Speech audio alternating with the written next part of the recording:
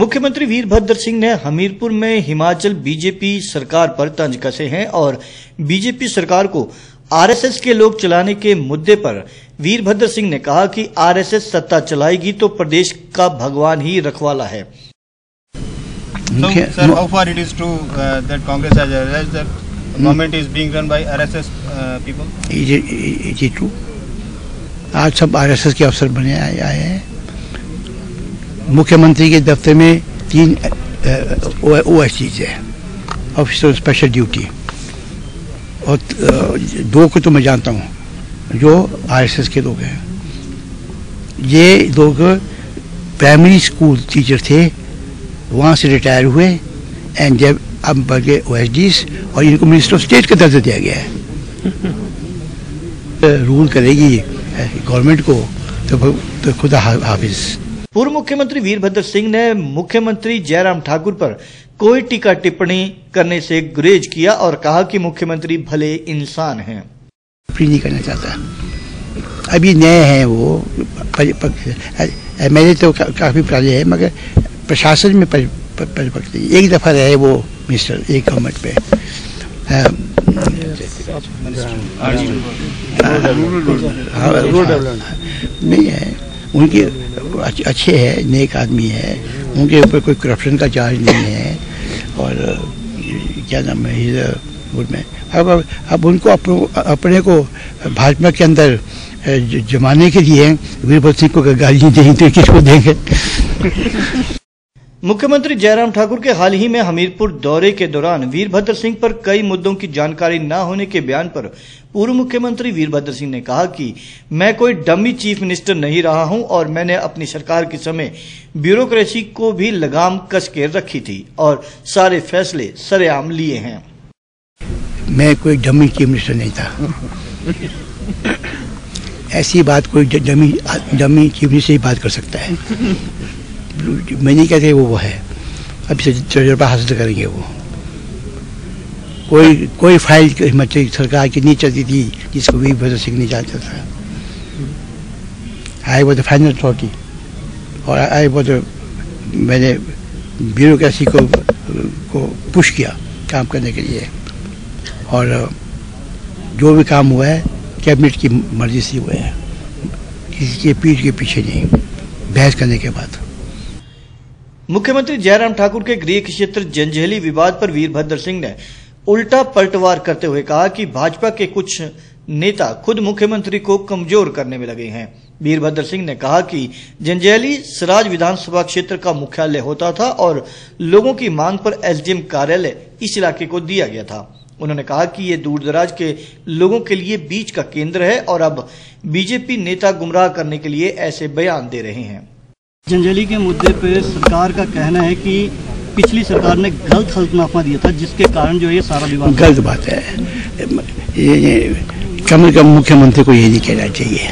वो मेरे मित्र हैं और शरीफ आदमी हैं और मगर मैं ये दावे के साथ कह सकता हूँ कि जंजली जो चुनाव क्षेत्र है एक बिखरा हुआ पहाड़ी इलाका है जिसमें दूर दराज के इलाके भी शामिल हैं। और उसका अगर विकास हुआ है तो कांग्रेस सरकार के द्वारा ही हुआ है। वो अच्छे मज़े हैं। शरीफ है लेख है। यानी, मगर ये वो अगर कहे कि कांग्रेस ने कुछ काम नहीं किया तो वो गलत बात है। है ना?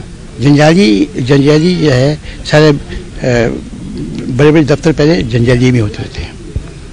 तो ये लोगों की मांग थी कि एक निचले एरिया के लिए ऑलरेडी एस का दफ्तर खुला हुआ है। कि अपोजिट एरिया के लिए जो है जंजाली को सरकार ने चाटा खोदा है। और और, और इन्होंने खुद जो है जब अभी एमएलए की शपथ ली तो उन्होंने वो जो एस का दफ्तर है जंजारी में वह फिर अब शपथ ली। तब कितनी उन्होंने एतराज़ किया वो कमज़ोर करना चाहते हैं चीफ मिनिस्टर को।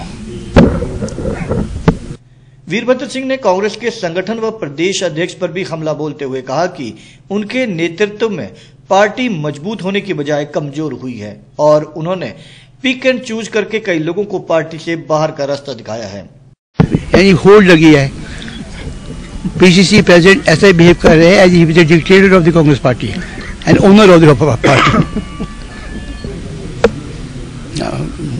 अवश्य तैयार होना चाहिए। इस वक्त पूर्णतः तैयार है मैं कह नहीं सकता। सर आपने कहा कि वर्तमान नेतृत्व के अंदर अगर चुनाव होते हैं जो कांग्रेस का वर्तमान नेतृत्व है तो आप उसमें इसमें- सौ मीटर की दूरी बना के रखेंगे? नहीं इसमें क्यों- क्योंकि इ- इनमें इतनी क्षमता नहीं है कि वो संगठन को मज़बूत कर सके और वो जो है क्या नाम हम शानदार जीत हासिल कर सके। वहीं लोकसभा चुनावों के मुद्दे पर उन्होंने कहा कि पार्टी जीत के लिए चुनाव लड़ेगी चाहे कोई भी उम्मीदवार हो। जीतने के लिए चुनाव लड़ेंगे।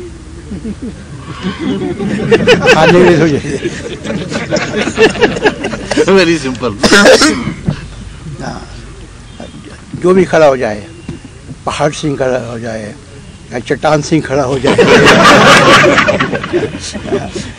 चाहे महारथी खड़ा हो जाए सबके साथ रहेंगे। उम्मीदवार सर वही अंतिम क्षणों में ही तैयार अनाउंस करेंगे?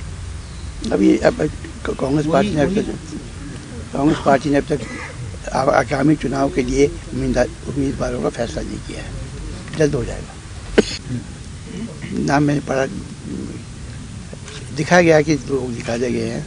कौन लोग निकाले गए हैं? किस कारण से निकाले गए हैं? क्या उनके खिलाफ चार्ज था? ये मुझे मालूम नहीं है।